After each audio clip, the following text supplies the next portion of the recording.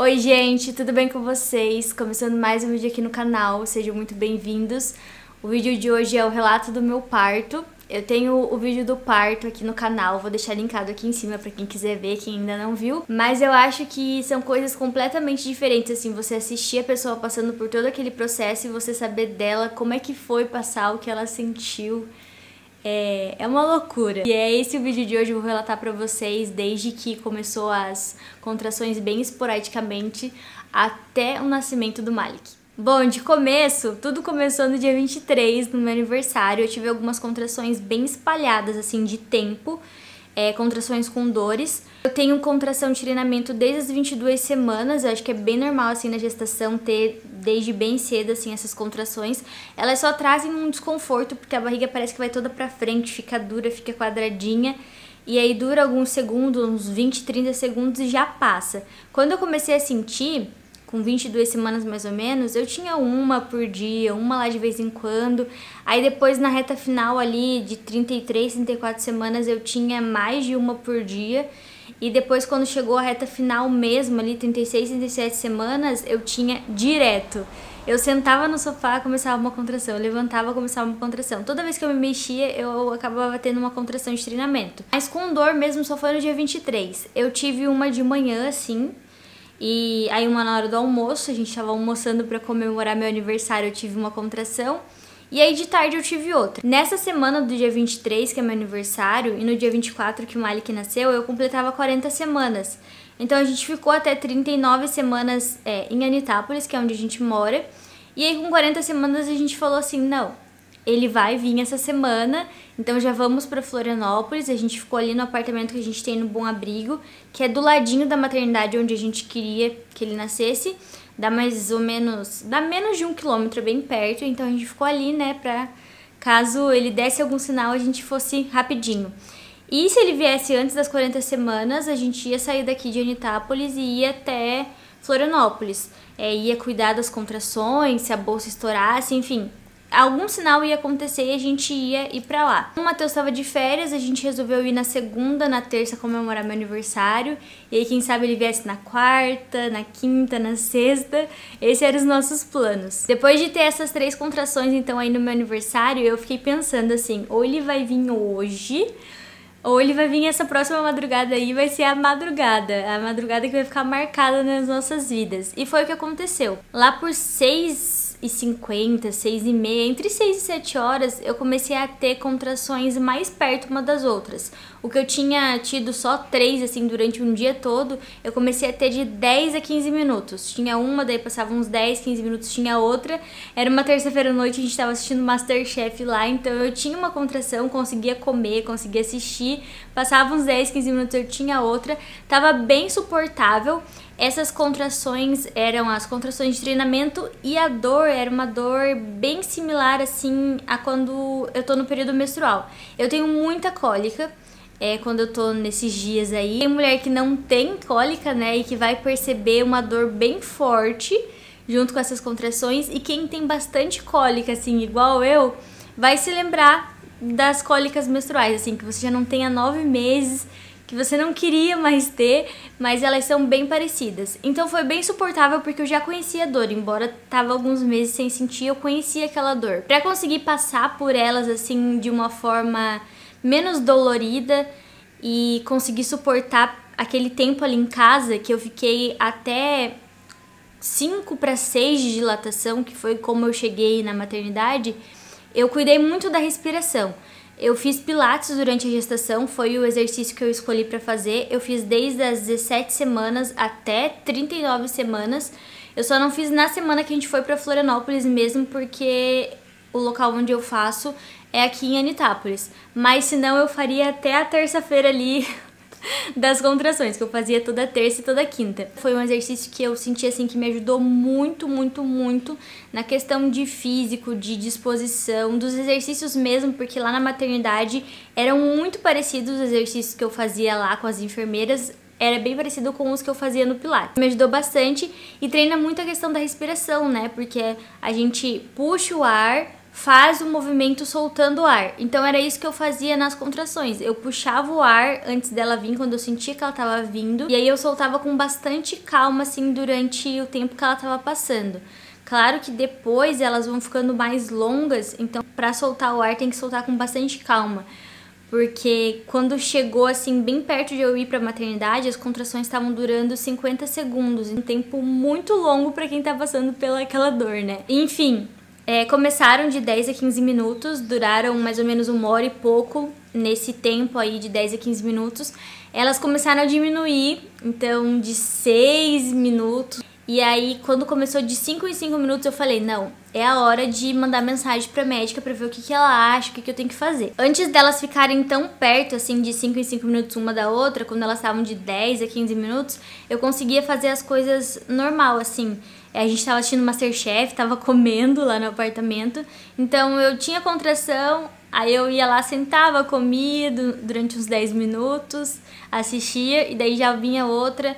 Era mais fácil assim de passar pela contração caminhando, me abaixando, me segurando em algum lugar assim. E era isso que eu fazia para não sentir tanta dor e também porque era início e eu queria me manter assim bem disposta e com energia, porque eu sabia que aquilo ali era muito pouco perto do momento que eu tivesse lá com 8, 9 de dilatação, na hora do expulsivo, então eu não queria gastar toda a minha energia e ficar muito cansada naquele momento ali que eu não tinha nem chegado na maternidade ainda. Eu queria levar aquilo ali como se fosse algumas dorezinhas, assim, tranquilas. No começo, a gente consegue, mas é claro que quando eu tava lá na maternidade, com 8, 9 na hora do expulsivo, as coisas mudam e a gente não consegue pensar em mais nada, mas é como eu falei, é bom guardar as energias para esse finalzinho mais difícil. Eu mandei mensagem para minha médica, ela até falou: "Ó, oh, a Sucena não é de mandar muita coisa, eu não incomodei ela durante a gestação, eu só mandava mensagem quando tinha alguma dúvida, acho que foram poucas vezes e para falar sobre as consultas, sobre algum exame que ela tinha pedido para eu fazer, mas reclamar de dor, de alguma coisa, de medo de alguma coisa, eu nunca fui disso, assim, foi uma gestação muito tranquila. Então, quando eu mandei a mensagem, ela falou: "Alguma coisa está acontecendo". E aí ela pediu para eu deitar e cuidar dessas contrações durante 10 minutos. E aí eu deitei, fiquei bem quietinha, ela falou para não me mexer, para ficar deitada quietinha.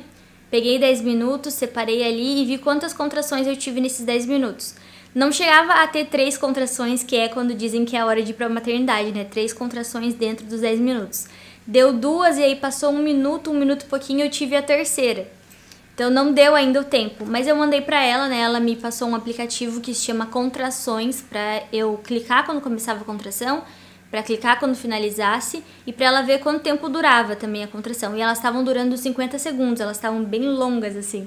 Era quase um minuto de dor. E aí eu mandei para ela, ela falou: "Olha, pode ser o começo do trabalho de parto. Então daqui uma hora mais ou menos a gente faz de novo isso para ver se evoluiu". Depois de uma hora, era quase 11 horas da noite, eu fiz de novo isso. Fiquei lá deitada os 10 minutos e aí eu tive as três contrações nos 10 minutos. E aí eu falei: "Meu Deus, tá chegando mesmo". E ela falou assim: Vamos lá na maternidade, porque eu tava muito perto, né? Tava menos de um quilômetro. E ela também mora ali pertinho. Então ela falou: cinco minutos, três minutos a gente se encontra lá. Eu quero te avaliar, porque tá bem perto, né? As contrações. E aí eu fui. E aí chegando lá, ela me examinou. E ela perguntou assim: quanto você acha que você tá de dilatação? Eu pensei assim: vou chutar um número baixo pra eu não me decepcionar, né? Falei: ah, uns dois, três. Ela falou assim: você tá com quase seis, você tá de cinco para seis. A gente vai internar agora já. Eu tava com as coisas dentro do carro, ainda bem que o Matheus não precisou voltar lá no apartamento nem nada, a gente já tava com tudo ali. Já começamos a colocar os dados ali, internar. Eu fiz um cardiotoco, que é a gente vê o batimento do bebê, vê quando ele se mexe, se o coração acelera, né, que é o certo. O batimento dá uma aumentada quando o bebê se mexe. E aí era bem ruim fazer esse, esse exame, assim, eu fiz acho que duas vezes antes do dia que eu fui internada, que vai fazendo toda semana depois que entra nas 37 semanas, mas esse do dia que eu tava tendo as contrações de trabalho de parto foi bem desconfortável porque eu tinha que ficar de barriga para cima, aí me faltava ar, aí vinha uma contração porque esse exame dura 20 minutos. Então vinha uma contração, eu me virava de lado, era bem ruim sentir a contração ali parada na maca que, igual eu falei pra vocês, é bem mais suportável passar por ela caminhando, se abaixando, enfim, o teu corpo ele vai te mostrando uma posição que você sinta menos dor e que seja mais confortável passar por aquela contração. Não sinta vergonha nem medo de ficar na posição que você achar melhor para passar por essas contrações. Aí eu fiz o cardiotoco e fui internada. Deu bem certinho assim, lá por meia-noite eu fui internada e aí eu pensei, é, ele não quer vir no meu aniversário, não quer dividir o aniversário comigo, vai ter o dia dele, vai ser esse dia 24. Pelo menos uma hora da manhã, durou mais uma hora nessas contrações que eu conseguia é, me concentrar, eu tô até rindo, conversando ali no vídeo, eu tô gravando. É uma hora da manhã minha bolsa estourou. E aí, quando você começa a perder o líquido, as contrações, elas ficam bem mais perto uma da outra. E foi a partir daquele momento ali que eu realmente me concentrei no trabalho de parto, eu não conseguia pensar em mais nada a não ser nas contrações e passar pelas contrações. Eu acho que é naquele momento ali que a gente chega no, na partolândia, que dizem, você só consegue pensar naquilo ali, nas contrações, passar por aquilo ali e uma a menos. É, uma mais é uma menos e tá chegando perto e vem beber logo, nasce logo. É, acho que é esse momento ali que você começa a perder o líquido e as contrações começam assim a mais ou menos de 2 a 3 minutos, assim, é muito perto uma das outras. E eu tive a sensação de que eu não conseguia me recompor de uma, já vinha outra, sabe? Eram muito perto, assim, parecia que nem passava os dois minutos ficava muito perto uma da outra. Eu ia me levantar, já começava outra. É bem intenso. Até tem uma parte que eu tô tentando comer uma gelatina para repor as energias e eu acho que vai durar ali uns dois minutos para eu comer, mas não. Parece que elas estavam muito mais curtas. Já tava vindo outra assim. E é realmente difícil. Eu falo pro Matheus que a hora do expulsivo lá na frente foi emocionante, foi tenso, né? Mas esse momento da uma hora da manhã que a bolsa estourou até 4 horas da manhã, que é que eu cheguei na dilatação máxima ali, os 10 de dilatação, foi muito difícil, foi bem dolorido, parecia que não tinha fim, parecia que não chegava, sabe? Mas sempre pensando assim, uma mais é uma menos, mas realmente parece que o tempo não passa. Você fica ali no quarto, você sai lá fora, você caminha, você senta, você deita e não passa é bem intenso e parece que você está numa dor assim contínua, né? Não é uma dor de sofrimento, mas é um sentimento ali da dor muito intenso, que parece que você tá parado ali e não vai pra frente, sabe? E aí quando chegou ali em 4 horas da manhã, que foi onde eu cheguei no máximo de dilatação, eu tava com 10 de dilatação, eu não tinha muito mais o que fazer e aí as contrações começaram a vir bem devagar e bem espaçadas e eu precisava delas, né, para empurrar o bebê, porque as contrações que empurram o bebê, eu já tinha feito a minha parte, já estava no máximo de dilatação e elas não vinham, começavam a ficar espaçadas. E aí começou a preocupar, né? Porque elas não, eu não tinha as contrações, elas não vinham. E aí minha médica falou assim: "Vamos colocar ocitocina e soro na tua mão, né? Colocaram aqui no, nessa mão aqui, na mão esquerda. Porque a ocitocina vai acelerar essas contrações para elas virem, né? Que a gente precisa delas para empurrar o bebê pro Malik vir. Falei, tá bom. E aí colocaram. Eu comecei a ter mais um pouco de contração, mais um pouco, mais um pouco. Fazia exercício, é, fiz vários exercícios com as enfermeiras, mas parece que as contrações elas não vinham tão intensas a ponto de empurrar o bebê para eu fazer a força é, junto com as contrações. E aí a gente começou a ficar preocupado porque eu tava muito cansada, tava exausta. Fazer aquela força para empurrar o bebê vai te deixando muito assim cansada. Parece que você tá tipo quase desmaiando, assim. Parece que você tá perdendo as forças, perdendo as forças. E foi assim das quatro da manhã até as sete da manhã. Eu não lembro mais ou menos o horário, mas eu sei que teve uma hora assim que eu não conseguia mais fazer força. Eu fiquei de vários de várias posições, assim, eu fiquei sentada, eu fiquei deitada, eu fiquei segurando um negócio assim para conseguir forçar o meu corpo fazer mais força.